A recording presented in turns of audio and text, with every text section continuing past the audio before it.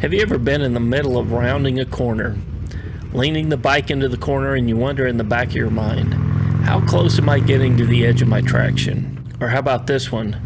Was that a bump I just felt, or did the tire slip a little on the pavement? This week on MC Rider, we'll talk about cornering traction. And you'll learn a little something that'll probably ease your mind the next time you're out for a ride.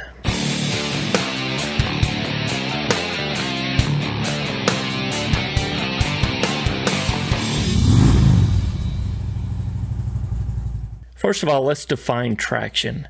Traction in its simplest form is the amount of grip that your tires have on the road. Now, traction is affected by a whole lot of things the condition of the tires, the age of the tires, the compound that the tires are made of. A softer tire is going to have more traction than a harder tire will.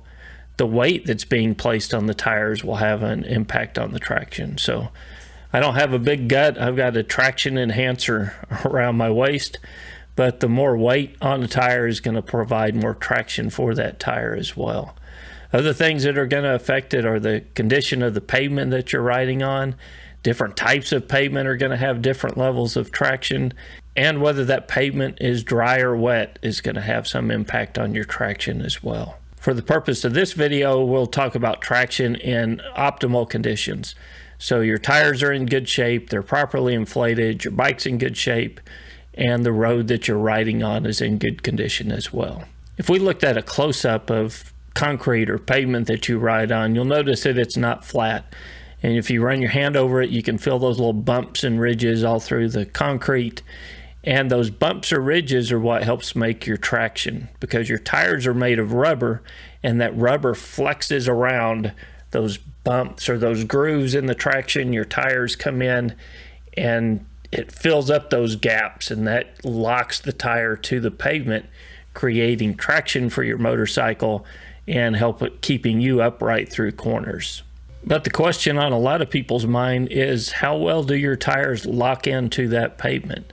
Well, the standard here in the US is about 1 to 1 point G's of lateral force your tires will maintain traction on pavement. So that means if you're rounding a corner, it's going to take 1 to 1.1 G's of force, of lateral force, before your tires begin to lose traction with that pavement. On a motorcycle, it takes about 45 degrees of angle to make 1 G of lateral force. On a Harley Davidson, at about 32 to 34 degrees of angle, the hard parts start hitting the surface of the road and at 35 degrees, there's enough metal meeting the pavement that it actually lifts the rear tire off the ground, causing a loss of traction. So on a cruiser, you're going to run out of lean angle before you ever run out of traction. Now on a sport bike, you can get to that 45 degrees without any hard parts scraping the pavement.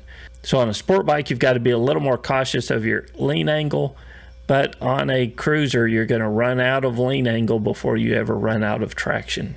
Yeah, but you might say, well, what about speed? You know, surely there's a difference if I go around a corner at 50 miles per hour as opposed to going around a corner at 15 miles per hour. It's got to be, you know, put more G force, lateral force on the pavement going at a faster rate of speed. Well, no, it's actually the same. Your cornering radius won't be as sharp. It'll take longer to get through that corner because you're going faster. But if you maintain within that 45 degrees angle, you're still going to be less than 1G as you go around that corner, which means you're going to maintain traction with the road. But what about when conditions aren't ideal? What about when that rain starts to come down? How much traction do you have then going around the corner? Well, the first 10 to 15 minutes of rain, we all know that that lifts the dirt and that oil and stuff comes up off the pavement and all of that affects your traction. So the first 10 or 15 minutes, it can get pretty slick out there.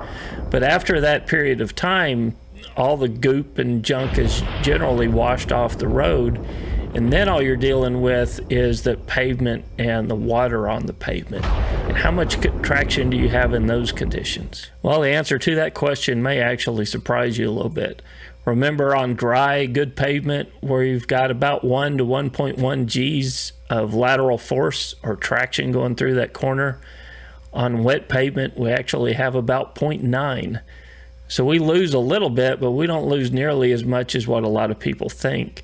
And that's why if you go back and watch my tips on riding in the rain, one of the biggest things that I recommended in there was just to relax because it's honestly more of a mental thing than it is a physical thing.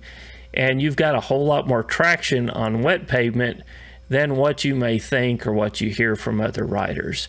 So on dry pavement, 1 to 1.1 G's of lateral force. On wet pavement, after all the goop is washed off of the road, we're talking about 0.9 G's of lateral force. So to sum this up on a Harley Davidson and a lot of other heavy cruisers for that fact, they've got about 32 to 34 degrees of lean angle going through a corner. And at that lean angle, you're putting out about 0.6 G's.